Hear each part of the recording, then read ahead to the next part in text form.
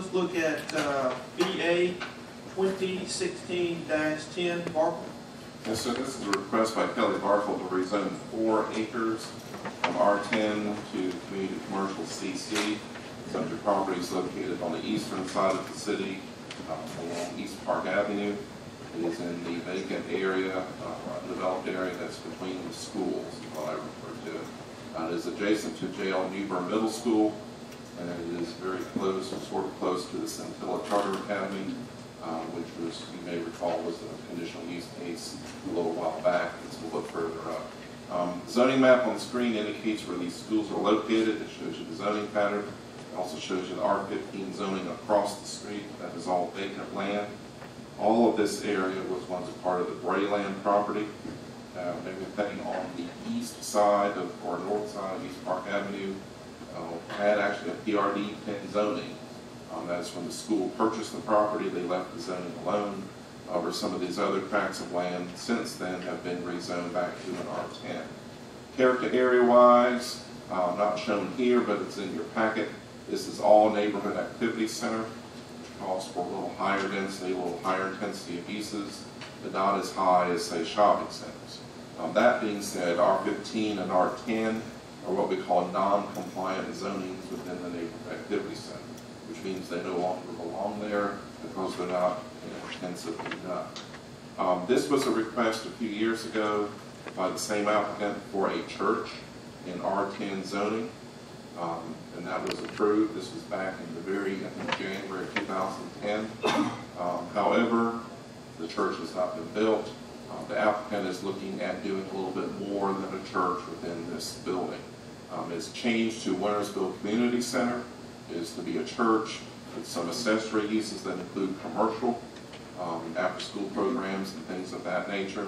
Um, I handed out, uh, right before the meeting, a larger version of the floor plan, a little bit easier to read, but you can see some of the other uses.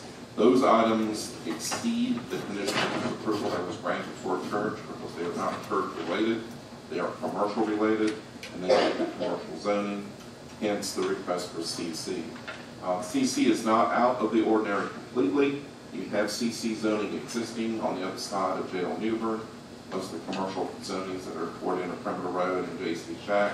Um, even though you have some residential zonings nearby, the dominant land use pattern in here is institutional type land use for these schools. And also up, up near the Dogwood Circle intersection, you have the back entrance to the new Valdosta High School. So this is very rapidly becoming something other than a residential area and other than a residential corridor. Because this property is somewhat isolated between two existing schools, um, R10 zoning or even single-family zoning of a higher nature does not seem practical here. Um, So staff is willing to go along with the CC zoning. It is allowed in the neighborhood activity center, um, and it fits in with the land use pattern nearby, which really is called to be a mixture of land uses. So with that, staff has found the request consistent with our comprehensive plan, our standards for exercise of zoning power, and we are recommending approval of the CC zone. And there's your site plan, and then in your packet you have the floor plan. Be glad to answer any questions you might have.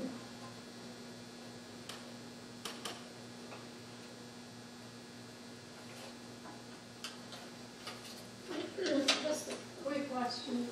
Is there, after R ten before CC, any other use that would allow this development to happen without having to put CC in that area?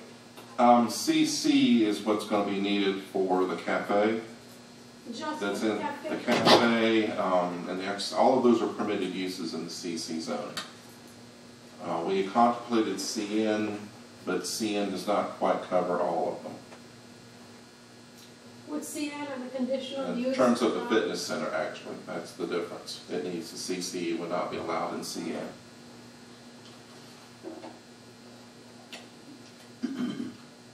And also, if there were a different land use pattern nearby, in other words, if these schools were not adjacent to the property, Mhm. and this was existing or future neighborhood, staff would think differently of the CC. But with the schools being there, and its limited acreage, sort of in a triangular area nested between, it works in terms of corridor patterns.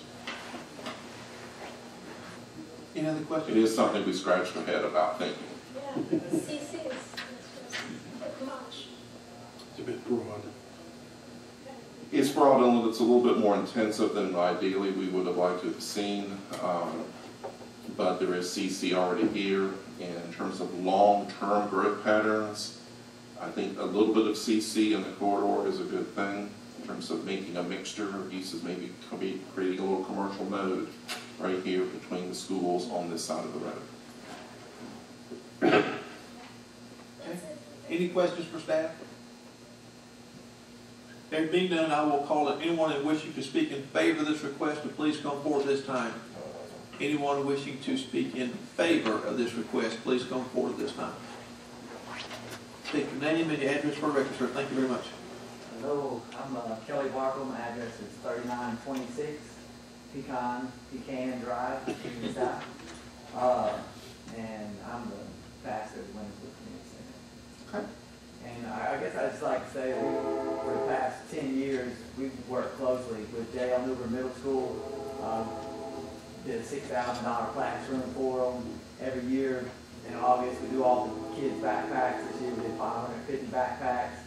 We have eleven kids currently that were least likely to succeed, and we pick them kids up every day, take them to tutoring, and they also do an hour of the fitness and CrossFit, and we take them to camps and different things like that. And, and then even Scintilla, last year, the first year of Scintilla, uh, we were in there for after-school program, uh, three days a week, an after-school program there too.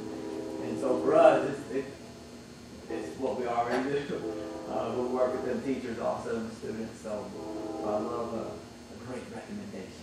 Kelly, just, just, I, I see that in, in your renderings here, you're showing, uh, tutoring stations. Are you, are you gonna offer that? It's, We already do. You already Um, Right do? now, we have them in a five where we're at.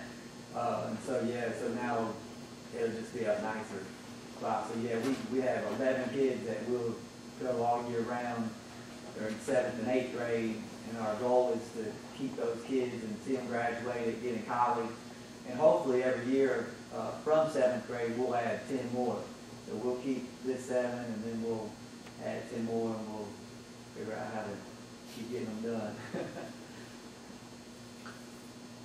commissioners, do we have any questions for the presenter? Appreciate.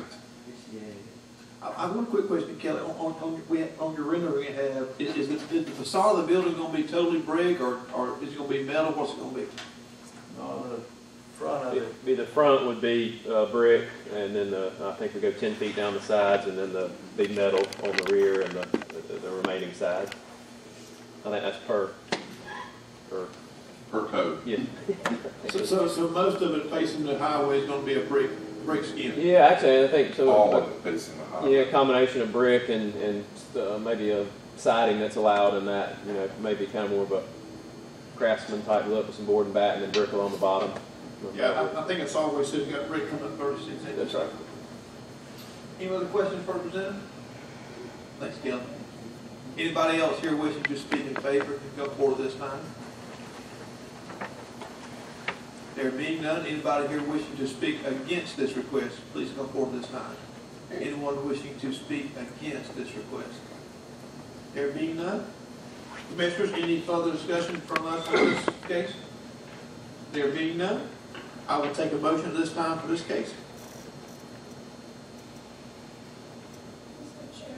I make, um, I make a motion to recommend approval of, uh, this request as presented.